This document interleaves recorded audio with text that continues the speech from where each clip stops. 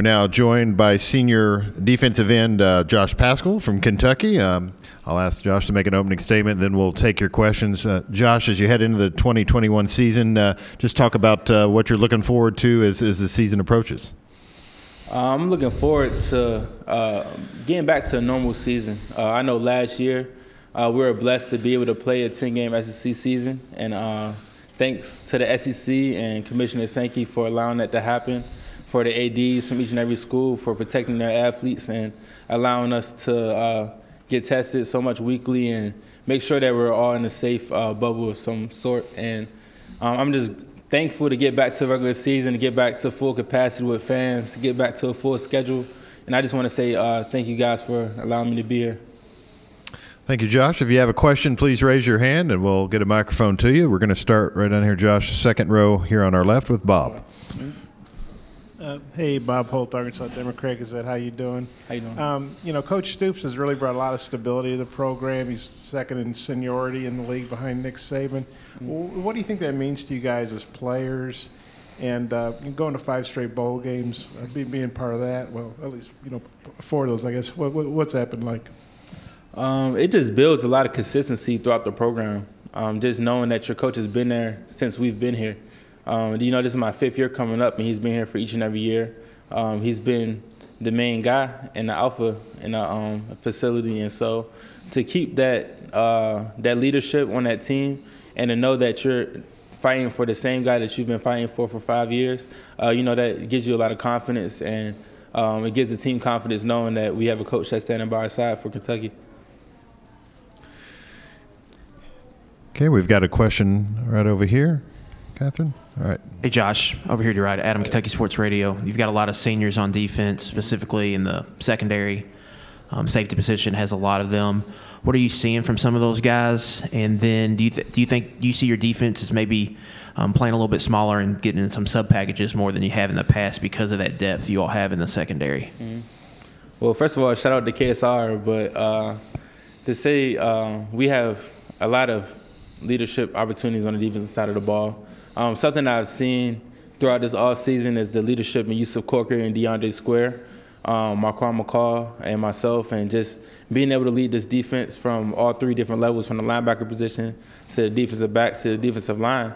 And um, you know, we're just thankful to have the opportunity. And of course, we have a lot of depth at uh, the safety position, at um, the DB position as well. And uh, I think we'll be able to get into some sub packages, but uh, we'll see more this fall. Josh, we're going to go over here on our left on the near aisle. Hey, Josh. Josh Kendall from the Athletic. I realize the college football playoff expansion is a little too little, too little, too late for you guys at your stage of your career. But do you think it's a positive change for college football? Uh, yeah, I'm an old head, so unfortunately I won't be able to experience it. But um, I think it'll, it'll, be a good change, uh, just because I think it'll bring a lot of competition uh, to the to the stage because you're gonna have an expansion of that, so it's gonna be more teams to get involved and it won't be like if you're fifth in the country, then you're automatically out of it. So uh, I think it'll bring a lot of competition. Do you think it would have changed the way you and your teammates approached a, a season at Kentucky the last four years? Changed the outlook on seasons? Um, I wouldn't think it would change the outlook just because I know that uh, we gave it our all each season, um, especially at Kentucky. You know, we've been through a lot, not only in Kentucky football, but in our athletic program. Um, we took a lot of uh, losses in that in our athletic program, and especially with Coach Schlarman, um, and um, in the football program, of course, uh, with Chris Oats. So um, something that, with playing lightly, that's something that we don't do. So I think that uh, I think we're all good with that. And finally, some players have raised concerns about the number of games that it could potentially mean. Would you have any concerns about that from a length of season standpoint? Uh, I'm, uh, I mean, of course, it would be a lot of games to get tacked on. Probably was it three? Probably. And um, you know that would be a lot of games, but at the same time, you gotta if you want to be the champion, you have to do it. So I, I don't think that would really raise a concern to the people that's actually that actually gets into the playoff expansion. Mm-hmm. Thank you, though. All right, Judge, we're going to go over here to the right side on the near aisle. Right. Hey, Josh, Nick Roush, KSR. You all suffered a lot of loss last year. Do you reflect on that a lot, or do you try to put it in the rearview mirror? What kind of approach are you all taking to to move forward uh, in the 2021 season? Well, shout out to KSR again, but um, with all of the losses that we did take, especially with uh, Chris Oats and Coach Schlarman, that's something that you don't really want to put in a rearview mirror because uh, you want to keep them next to you. Um, those are uh, two great guys and two great competitors. And I know Coach Schlarman, um, you know, he had the motto for the team, and Coach Schlarman was um, always that was that's what he stood on. Um, he was going through the most difficult time of his life, but at the same time, he did it all for the team. He showed up to every practice. Um, no matter what he was going through health-wise, he always put the team first, and um, that's something that we really want to keep ne- uh, keep next to us and keep um, on our mind. Okay, I think we've got we're gonna get a microphone. We've got one all the way to the back there on the back right-hand side of the center section. Hey, Josh, Jon Hale with the Courier Journal. What have you seen from those other defensive linemen who are competing for that third spot on the line? Um, I'm seeing a, uh, a lot of competition, and I feel like that's what's going to bring out uh, the best in all uh, three of those guys. Um, I'm seeing guys putting in extra work, not only what's required, but um, time after that. I'm seeing guys uh, getting film, getting film study, and really take that extra step that um, they needed to take. And you know, competition can bring out the best in you at times, and I feel like that's what's going on right now. Okay, other questions? Raise your hand. We'll get a microphone to you. Oh, we've got one over here on the left. Edgar. Yeah, hey Josh, Edgar Thompson, the Orlando Sentinel. What, what's uh, it's early, but what are your thoughts on how name, image, and likeness has been going, and and how much of a discussion has that been among you guys as a team?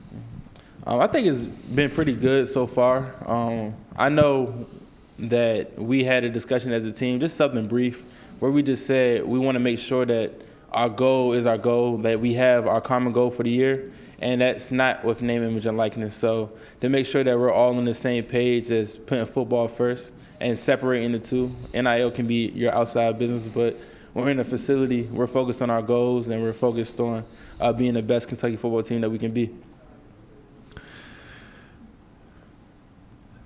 We have another question down here in front left. Tom. Yeah, hey, Tom Murphy, Arkansas Democrat Gazette. What do you guys need to do to compete in the SEC East for the for the title? Um, uh, to say the least, we just have to uh, execute.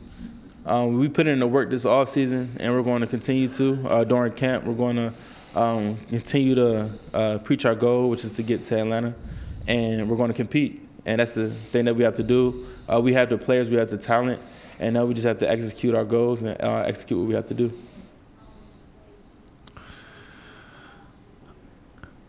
Additional questions? We'll wait for a second. While uh, Coach mentioned the personal adversity you've gone through, how have you been able to help your teammates through some of the adversity of the team based on your personal circumstances?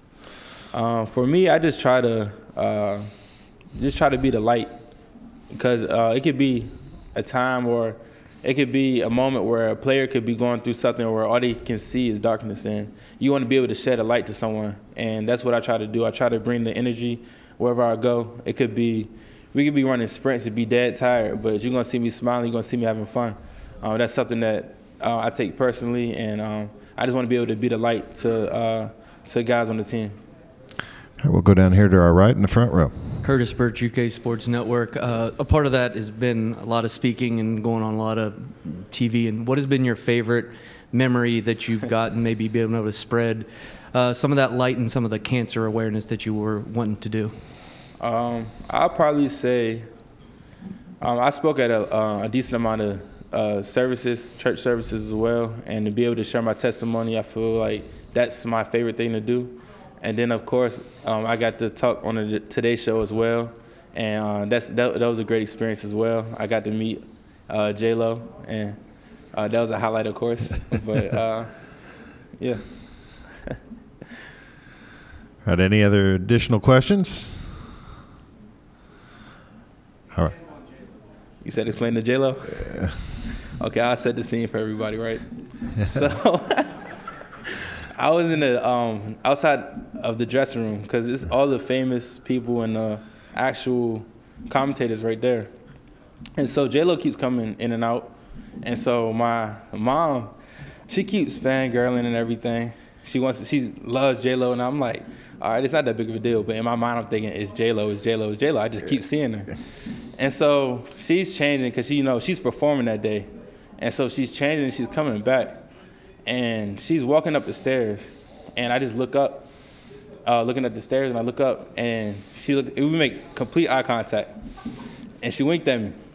And I, I hope that wink was real, because I've been telling this story ever since it happened. But when I tell you I melted, I melted.